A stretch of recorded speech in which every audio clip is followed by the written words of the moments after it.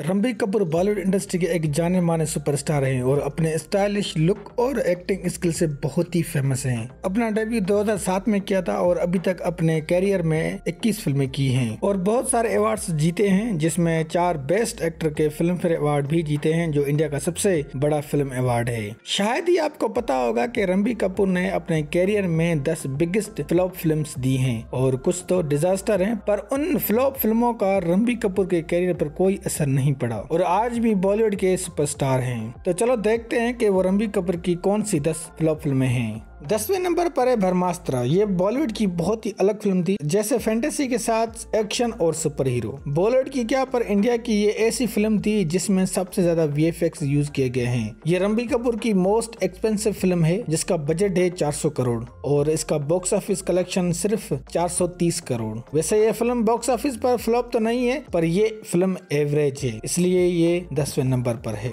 वैसे ये इसका पार्ट वन है, शायद आगे चल के इसका दूसरा पार्ट भी हमें देखने को मिले। नाइन्थ नंबर पर है तू झूठी में मक्कार। रणबीर कपूर की ये श्रद्धा के साथ पहली फ़िल्म थी, पर मुझे लगता है ये लास्ट भी यही थी, क्योंकि श्रद्धा कपूर के नंगेपन ने भी इस फ़िल्म को बचा नहीं पाई। दोनों की ओवर एक्टिंग देखकर लोगों को शायद ही उतना मज़ा आया होगा। इसलिए फ़िल्म ने बस अपना बजट ही निकाल पाई। 200 करोड़ का बजट था और box office collection total 220 crore. और इस फ़िल्म को भी हम एवरेज कह सकते हैं। आठवें नंबर पर है सांवरिया। ये रणबीर कपूर की पहली फ़िल्म थी। मतलब रणबीर कपूर ने फ़िल्म इंडस्ट्री में अपना डेब्यू किया था और पहली फ़िल्म ही फ्लॉप हो गई। इस फ़िल्म के पास कुछ रिकॉर्ड्स भी हैं, जैसे ये बॉलीवुड की पहली फ़िल्म थी जो नॉर्थ अमेरिका में रिलीज़ हुई थी, हॉलीवुड स्टूडियो में। दूसरा के ये बॉलीवुड की पहली फ़िल्म थी जो ब्लू रे डिस्क में भी रिलीज़ हुई थी। उसके बावजूद भी ये फ़िल्म फ्लॉप से भी बदतर डिजास्टर हो गई। टोटल फ़िल्म का बजट पैंतालीस करोड़ था और फ़िल्म ने box office collection thirty crore ही किया था। तो ये पहली फ़िल्म ही रणबीर कपूर की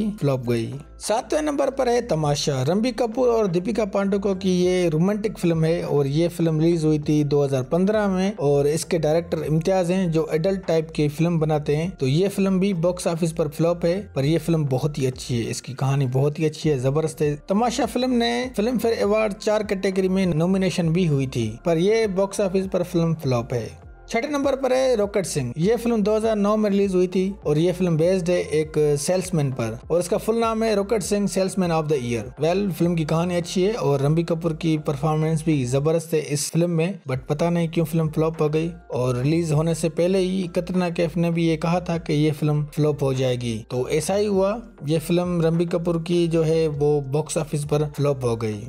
और पाँचवें नंबर पर है बेशरम। रणबीर कपूर ने खुद एडमिट किया था कि उसने ये फ़िल्म अच्छी नहीं की है, क्योंकि कुछ ज़्यादा ही ये फ़िल्म ओवर है। सच में ये फ़िल्म अच्छी नहीं है, मुझे तो बिल्कुल ये फ़िल्म अच्छी नहीं लगी थी। ना ही तो इसमें कॉमेडी है फ़िल्म में, और ना ही कोई रोमांटिक है, और ना ही कोई इसमें कोई एक्शन है। पता नहीं, एक मिक्स फ़िल्म बना दी है इन लोगों ने। और जब बहुत से नेगेटिव रिव्यू मिले फ़िल्म को तो ये फ़िल्म बहुत ही बुरी फ्लॉप हुई। ऐसा लगता था कि ये फ़िल्म रणबीर कपूर के करियर को खत्म कर देगी, पर ऐसा नहीं हुआ। फोर्थ नंबर नंबर पर रोय रोय फ़िल्म का हाल ऐसा था कि थिएटर में लोग ये फ़िल्म देखते देखते सो जाते थे, या फिर ये कहें कि लोग उठ के चले जाते थे। पता नहीं क्या सोचकर रणबीर कपूर ने ये फ़िल्म की थी। फ़िल्म की कहानी आज तक लोगों को समझ में नहीं आई, बस फ़िल्म का म्यूज़िक थोड़ा बहुत अच्छा था, और इसी वजह से फ़िल्म ने काफ़ी अवार्ड भी जीते थे, पर यह फ़िल्म बहुत ही बुरी डिजास्टर थी। फ़िल्म का टोटल बजट जो था वो पचास करोड़ था, और फ़िल्म ने total box office collection forty crore किया था, और ये फ़िल्म कंसिडर की जाती है डिजास्टर तीन नंबर पर है जगह जाजूस। ये फ़िल्म रणबीर कपूर की और कतरना कैफ की दोनों की एक साथ में लास्ट फ़िल्म थी। फ़िल्म अच्छी थी, बहुत से अवार्ड रिसीव किए फ़िल्म ने, पर बॉक्स ऑफ़िस पर यह फ़िल्म बहुत ही बुरी फ्लॉप हुई। अब वजह यह थी कि लोगों को ये फ़िल्म बच्चों के टाइप की फ़िल्म लगी। रणबीर कपूर जो एडल्ट टाइप की फ़िल्में बनाता था तो ऐसी बच्चों वाली फ़िल्म दी तो लोगों ने ज़्यादा उस फ़िल्म को नहीं देखा। और इसी वजह से ये फ़िल्म फ्लॉप हुई। फ़िल्म का बजट जो था, वो वन करोड़ था और box office collection total eighty crore crore. इसका मतलब ये है कि ये फ़िल्म डिजास्टर है। दूसरे नंबर पर है बम्बई विलवेट। भाई, इस फ़िल्म को फ्लॉप कहना गलत है। ये रणबीर कपूर की कैरियर की दूसरी बड़ी डिजास्टर फ़िल्म है। हाँ भाई, इसे आप डिजास्टर ही कह सकते हैं। अब वजह क्या है? वो है इसकी स्टोरी कहा जा रहा है कि ये फ़िल्म रियल इवेंट पर बनी हुई है, पर इसमें स्टोरी टेलिंग जो है वो मिसिंग है। इसी वजह से फ़िल्म जो है वो फ्लॉप गई है। दूसरी के इस फ़िल्म में बड़ी कास्ट है, और इसका जो बजट है वो एक सौ अठारह करोड़ है, और फ़िल्म ने टोटल जो बिज़नेस किया था वो है फोर्टी करोड़। तो ये भी एक बड़ी फ़िल्म रणबीर कपूर की डिजास्टर हो गई।